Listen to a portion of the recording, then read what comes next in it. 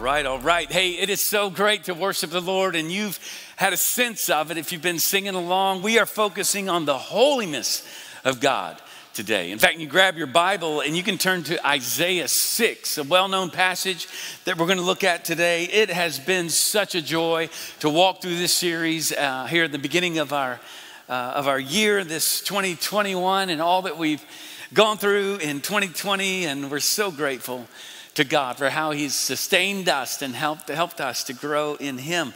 Can you believe it? We're going to have one more sermon next week in this series, uh, as, we, as we've looked at the attributes of God, the character traits of God, who He is, getting a clear vision of who He is. And then the next week, okay, that'll be February 14th, okay, Valentine's weekend, fellas, all right, be aware. Uh, it's actually a Sunday this year. That is a new series of messages that's going to take us all the way to Easter. Okay, so this is we're all hopeful that this uh, this yeah winter passes and the whole you know the world opens up. But we're still praying and seeking the Lord in the midst of it all. I want to ask you this question as we begin: Have you ever met someone uh, who's famous? Now, that might be relative for some of us uh, to, to how famous, who might that be, or in your sphere of influence or, or interest. You would think, man, I just want to meet that person, that person. If you've met someone that's famous, I want you to think about that for a minute. Uh, how did you act when you were around them? Like, like when I was younger, and I've had opportunity to meet some, I guess, relatively famous people, and you get a little nervous. Like you don't know how to act. And you realize they're just human like me, but this, like if you met the queen or say a president, would you just like casually just, you know, go up to, what's up, queen? You know, I, or would you, would you act different? Would you bat, right? Curtsy or whatever you do? Would you just be normal or would you be a little awkward because you're not yourself? And generally, when we're not ourselves, that's a little awkward and it can be seen and it's hard to know. What do you do when you meet a famous person? And what happens then, okay, when you come in, in the presence of God? Do you ever feel the same way? A little awkward? Like we know He's holy. If He's the God of the Bible, He's totally separate than we are. We're sinful, so how? I don't just like come before Him like I would anybody, and yet I'm forgiven. If I'm a Christian, I how do, how do you how do we do this? How should we approach God with reverence and joy? That's what I want to talk about today. And you can imagine this topic here is bigger than I can handle in about 30 minutes. But I believe that if you listen to this message today and apply it to your life, this will change your life. It'll change your corporate worship, it'll change your personal worship, and even your relationship with God. So let's dive right in. Isaiah 6, here we see God's holiness. And what I want you to see today, His holiness supersedes everything else. His holiness separates, His holiness saves, and then His holiness sins. Look at verse 1. In the year that King Uzziah died, I saw the Lord sitting upon a throne high and lifted up, and the train of his robe filled the temple. Now, Isaiah, he places this in historical context, which is always under, uh, worth noting. We're, we're, here in chapter six, so a lot has happened. Uh, Uzziah was the king of Judah, and he has now died, okay, clearly. Uh, but what happened before he died, uh, he was a he was a great king. Judah experienced a lot of pros- uh, prosperity under his leadership and under his reign. But uh, then he became prideful, as often happens with leaders and especially with success. And he strolled into the temple at one point to light some incense, which only a priest could do. And he was actually then struck with leprosy. The last 10 years of his life, we know historically, he had leprosy. You talk about quarantine. He had to be isolated. Imagine a king who can't really lead, right? They didn't have. They didn't have the internet. They didn't have social media. He couldn't tweet out things to the kingdom, you know, and tell everybody what to do. He was isolated. He couldn't worship. And so his son was a co regent, but here's what happens he dies, and then imagine, it was already a time of unrest. Nation was in disarray during that time, on a downward spiral, and, and now there's no king. Now everything is out of whack. There's no one sovereign on the throne, right? But watch what happens here in this vision that, that Isaiah has. He sees God is seated on the throne. You see that? God is sitting on the throne, and, and, and where, is, where is Uzziah? He's down in the ground. God is high and lifted up. Uzziah the king is down, dead, and gone. This is a good reminder for us all. Leaders come and go, nations rise and fall. God is seated on his throne all the time. We talked about this last week.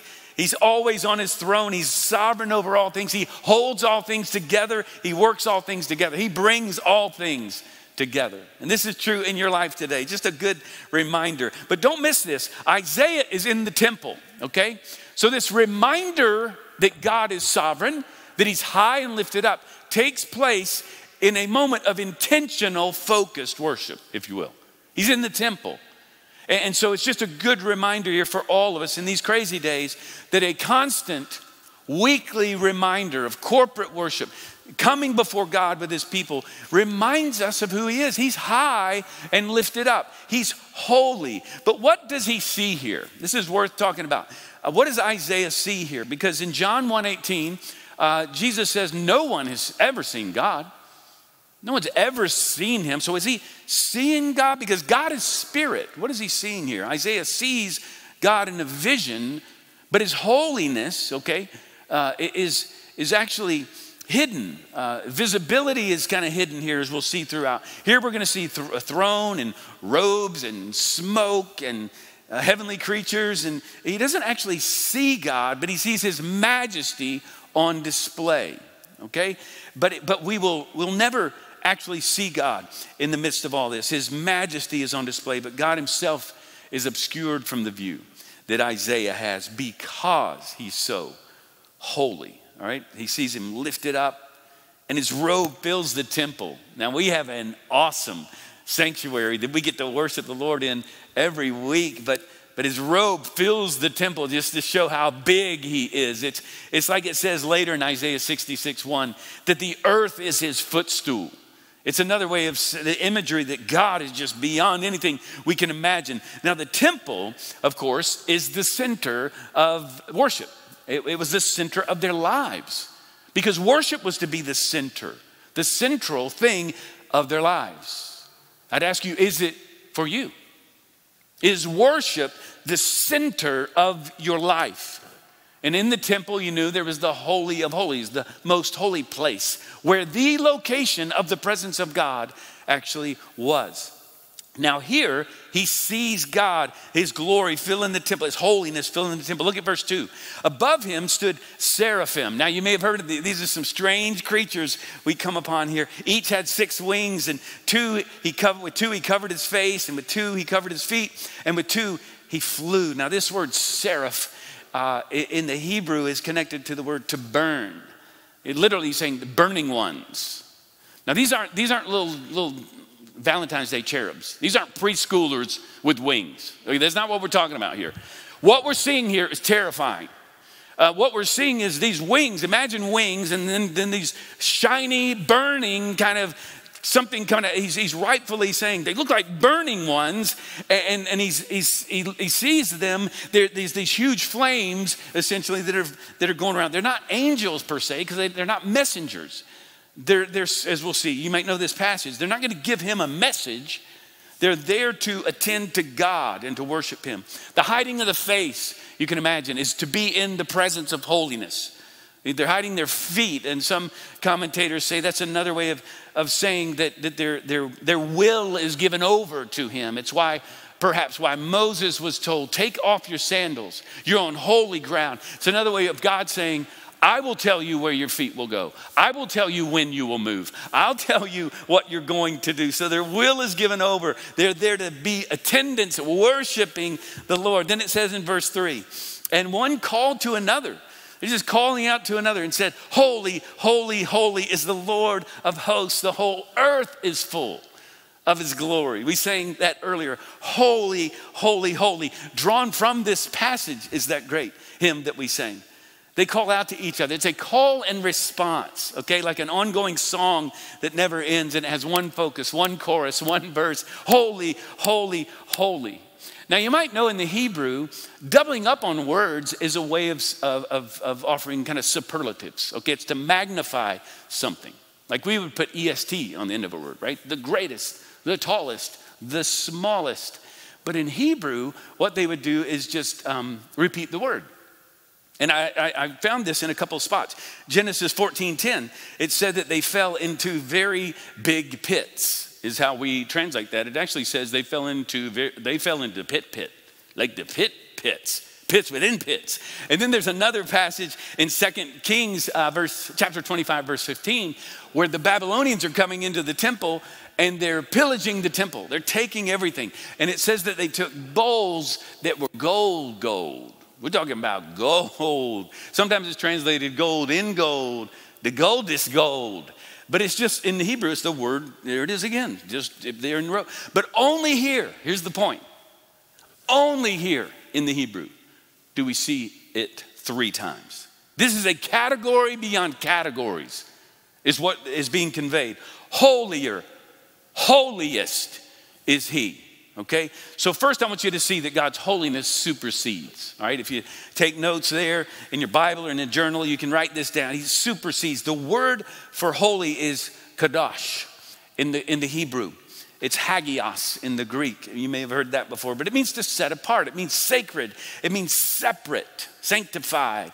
Literally could be cut off, spatially removed. So his, he is spirit and he is spatially removed from us and morally removed from us, right? His holiness, you have a hunch.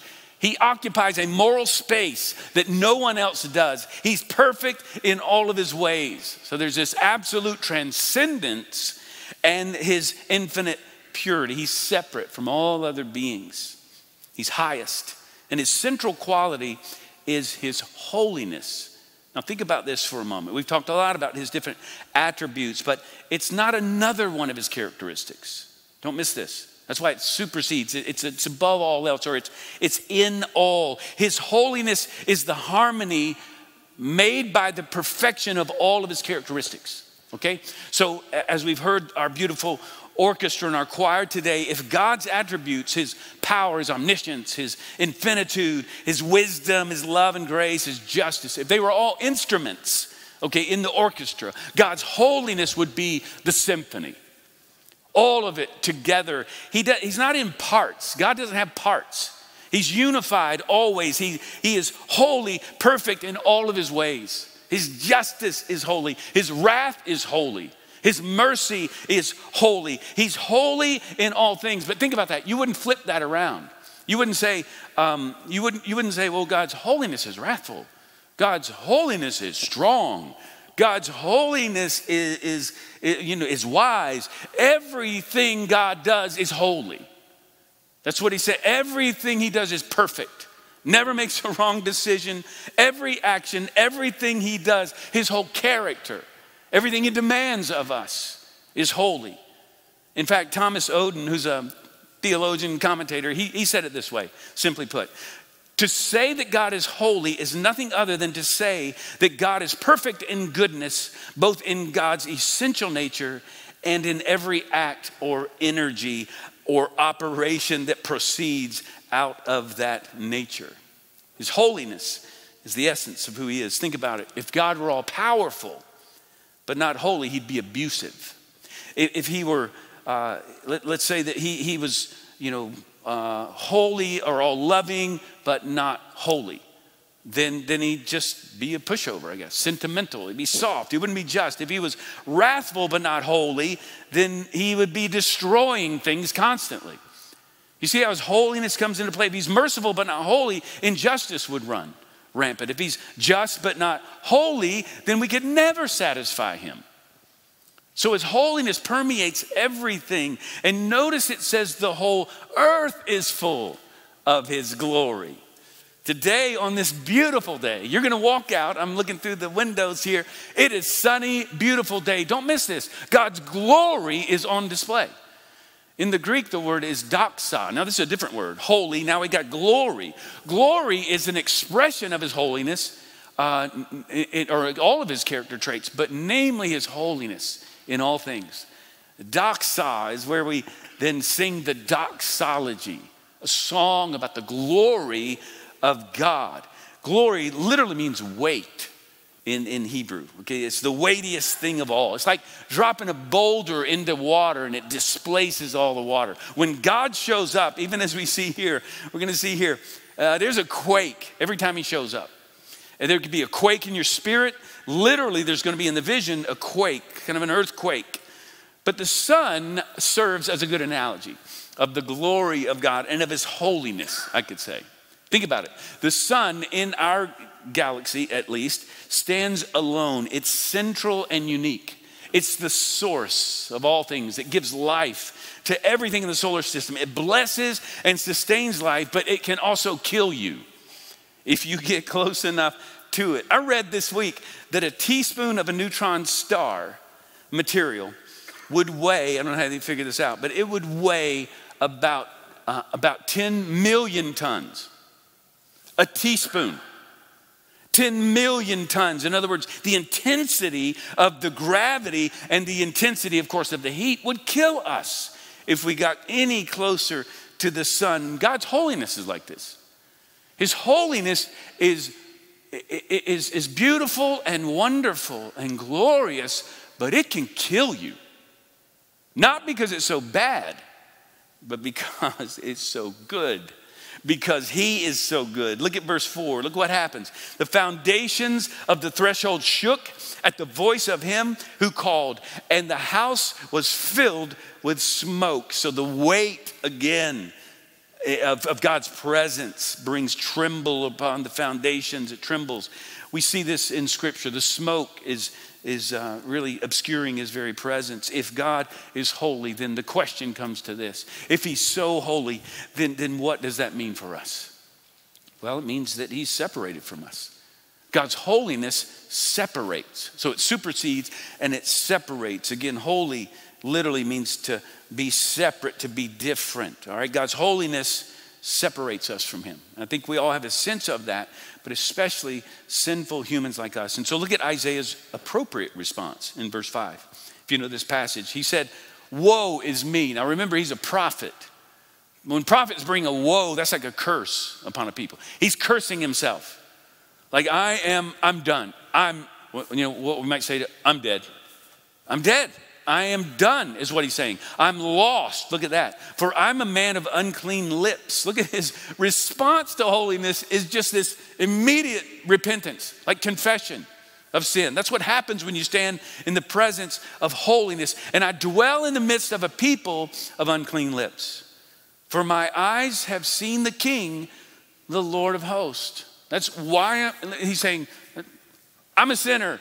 How do I know this? Because I've just seen holiness right before me. I can say it this way if you've ever come into the presence of holiness, you would respond in the same way.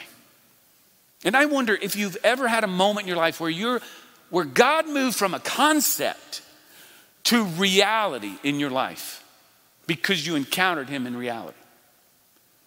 And if that's not happened, our prayer and our hope is it would happen today. Because God is beyond a concept, He is reality. And now Isaiah is responding to him. His response is spot on. He's terrified. But woe is me, he says, I'm lost. This is the same response that one would have who's silenced after great loss or even death of, of say, a loved one. It's Job's response in the book of Job. When he loses everything, he says, Woe is me. I'm done. I'm just, I'm speechless. I've got nothing I might as well die. This past week, I was with a couple who had lost their 12 year old son suddenly. And I go to the ER and I'm there with them, weeping with them and praying with them. No words. We're undone. We're, we're just, we're done. And, and, and it's, it's, it's what Isaiah is feeling this shock, but it's not just grief, he is in awe but he knows that he is a sinner standing before the presence of holiness. I wonder how often do you step into worship with that attitude, that sense of God's holiness? And if you're, you're tracking with me here, you're thinking, well, Jeff, if he, look, he's holy, but I'm sinful, then how can I even worship him? Hang with me. Look at what happens. Jesus says, out of the heart, the mouth speaks. So here's what Isaiah is doing Isaiah is speaking, yes, about his unclean lips, but it also reveals what's in his heart. It's confession of an unclean heart. Isaiah wants to worship God, but he can't because God is holy and he knows he's not. And all he can muster up is, I'm, I'm done. I'm ruined. Have you ever experienced that in worship?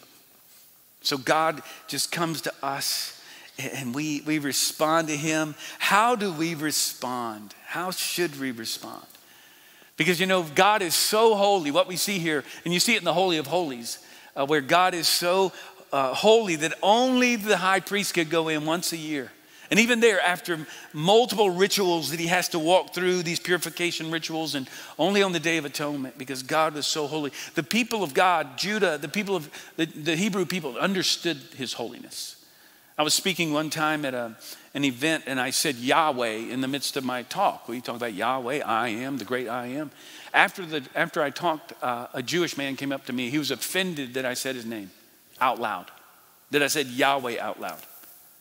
Now you might say, well, that's kind of strange. No, that's, that's a recognition of how holy God is. And I think that we've lost that in our day. And so he's calling us to understand that. You see the dilemma, though, right? None are pure. We can't clean ourselves up. We can't get our act together. We're far removed from him. In fact, Isaiah says this Isaiah 64 6 We have all become like one who is unclean, and all our righteous deeds are like polluted garment. We all fade like a leaf, and our iniquities, like the wind, take us away. See, our righteous deeds, our best efforts, don't get us closer to God. It's why in Romans 3:10 Paul says it's why it's written none is righteous no not one. And so we find ourselves in this terrifying position. And not only that, but God knows everything about you and me. Hebrews 4:13 when we come into his presence no creature is hidden from his sight but all are naked and exposed to the eyes of him to whom we must give an account. We should all be undone by this reality. But what do we do? If we're so sinful and he's so holy, well, the story even goes that when the high priest went into the Holy of Holies, they would tie, this is not in scripture, but tradition says that they would tie a rope around him. Because if he went in and he had not purified himself of sin, or he's living in some private secret sin and he dies in the presence of holiness, they just pull his corpse out. Well, okay, we get a new high priest, I guess, right? And in the same way, we just often casually just walk into worship. And, and not recognizing that God is holy. But what do we do with this? His holiness supersedes, His holiness separates. But I want you to see this to the shock of, of Isaiah and all of us. His holiness saves, His holiness rescues, it purifies us. Look at what happens. He says, I'm lost. He needs to be saved. Look at verse 6. Then one of the seraph flew to me, having in his hand a burning coal that he had taken with tongs from the altar. Now, God, in essence, stops this call to worship or this moment of worship, and he brings his attention to Isaiah. This is a loving act. But I want you to see there's nothing uh, that's you know special about the coal or even that it's burning. What's special here, don't miss this, is where the coal comes from. The coal comes from the altar where the sacrifices of atonement were made. The coal comes, and then it comes, and it, this is so powerful. Look at verse 7. And he touched my mouth, and this is so cringeworthy, right? This hot coal on the mouth, and said, Behold, this has touched your lips. Your guilt is taken away, and your sin atoned for. Now, again, I've read that even I remember as a kid reading this going, this is so strong. Oh, wow. Hot coal on the lips would be the worst place. Why on the lips? Well, Isaiah's the one who mentioned lips, right? He's the one talking about his mouth. And so, what God's doing is he's noting, I hear you, and I am, watch this, purifying you at the point of your confession the point of your sin. Now, Isaiah, I'm sure, had a lot of other stuff going on in his life, but he mentions his lips, and God says, I'll purify your lips. Now, what, he's trying to bridge the gap here. In fact, he is, and he's saying, Come to me, come to me. I will make you, I will atone for your sin. You can worship me. But how does this happen, friends? This is what's key here. This happens only when Isaiah confesses his sin. That's what prompts God to him. This, this is why the coal touches his lips, why it touches his mouth, right? God is showing him, I can, I can redeem this, I can purify you. The difference is his confession. This is the key. Hold on to this. This is the key to understand how we worship God. There's no debtor's ethic here on Sunday mornings or anytime you come before Him. You can't make up for what you have done, the sin in your life. You can't get better. It's what David understood in Psalm 51. After his sin with Bathsheba, he says, The sacrifices of God are a broken spirit, a broken and contrite heart. Oh God, you will not despise. See, it's not our goodness that draws us to God. It's our brokenness. It's being honest about where we are. It's, we've got to do exactly what Isaiah does confessing our sin before God. Because we know this. And listen, if you don't know the Lord, you've never had an encounter with Him like this. The wages of sin, the price for your sin is death. This we also see in the law, where it's a separation of death and life. That you're, you're just separated from God wants to bring life. Our sin brings death. The wages of sin is death, but the free gift of God is eternal life through Jesus Christ our Lord. You don't have to be afraid to come to Him because He has come to you in the person of Jesus. But what He's calling us to, friends, listen, He's calling all of us to be real in community, to be honest. We talk about this as a, a, a place where it's okay to not be okay. It's okay to come into friendships. It's what our groups are about, to come to know one another with no perfect people allowed, because there are none. It's why theologian, author Brennan Manning, he said this In a futile attempt to erase our past, we deprive the community of our healing gift. If we conceal our wounds out of fear and shame, our inner darkness can neither be illuminated nor become a light for others. Friends, it's our confession of sin. It's not only good for the soul, but it's good for the body. It's good for all of us. See, God's holiness, it supersedes, it separates, it saves us when we confess our sin. And then finally, God's holiness sins. Our transformation is for us to then go and to live it out. Look at verse 8. And I heard the voice of the Lord saying, Whom shall I send and who will go for us? Then I said, Here I am send me. Isaiah immediately responds with, Yes, I'm in. I'm, I'm all yours. And friends, that is the only right response when we encounter holiness. And even this morning, God is revealing his love to you. You might say, Well, if I had an experience like that, no, listen, we've come into his presence today.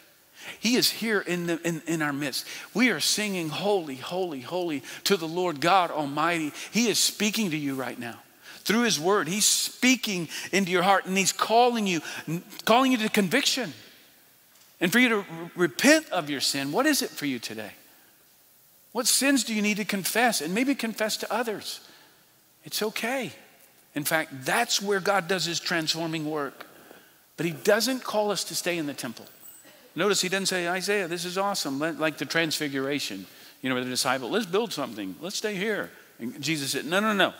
We're going down. We're leaving this place. And here's what happens. He doesn't say stay in the temple. And I want you to track with me here for a moment.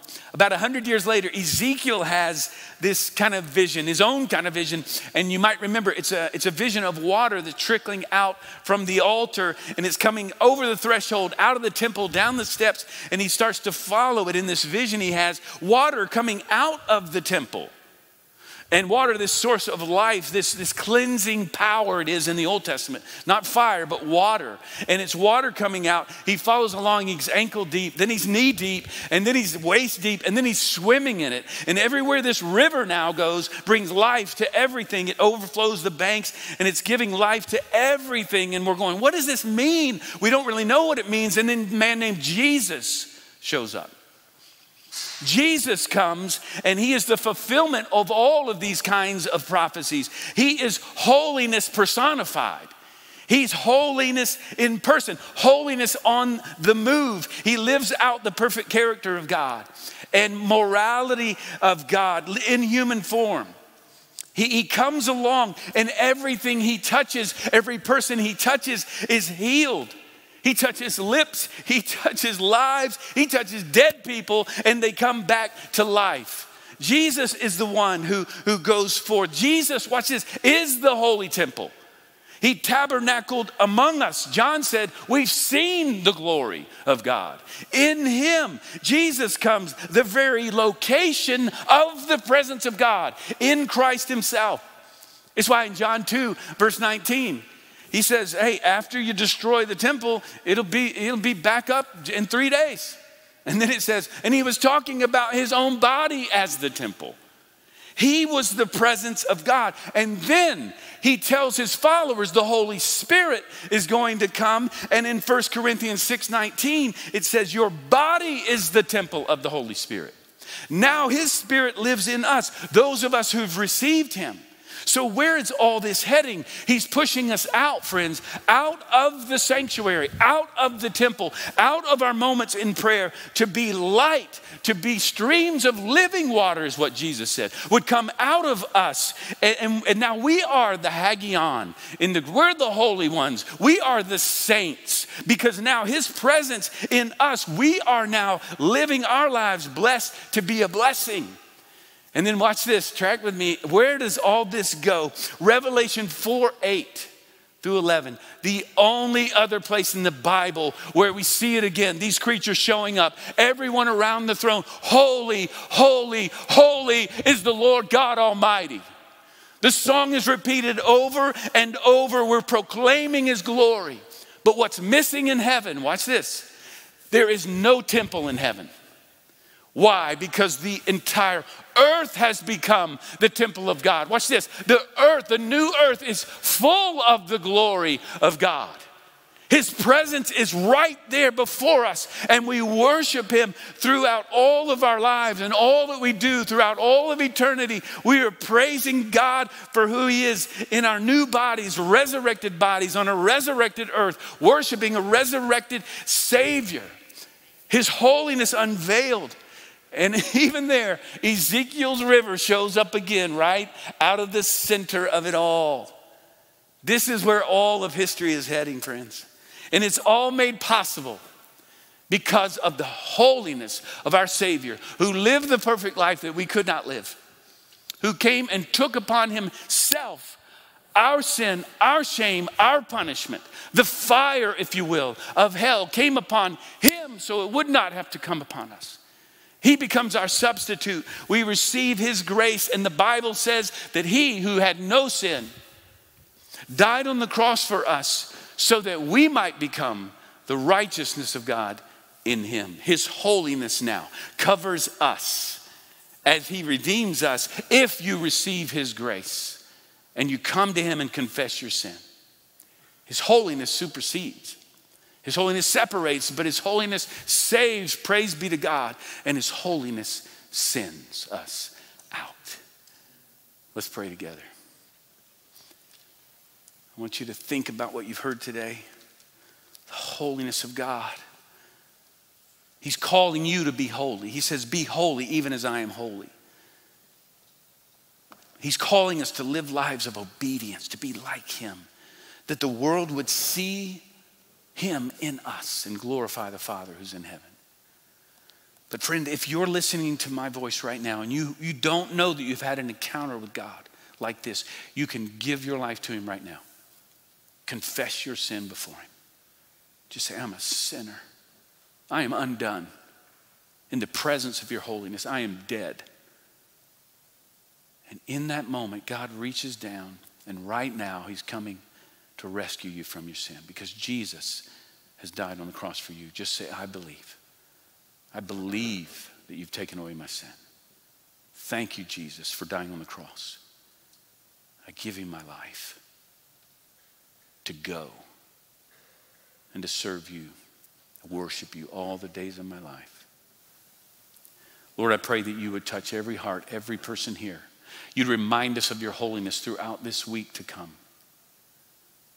And even as we pray, as we fast and pray tomorrow to give our lives to you, that you would move in us, remove sin from our lives, that we might live holy lives that you've called us to live. We thank you for your word. We thank you for Jesus, in whose name we pray. And all God's people said, Amen and amen.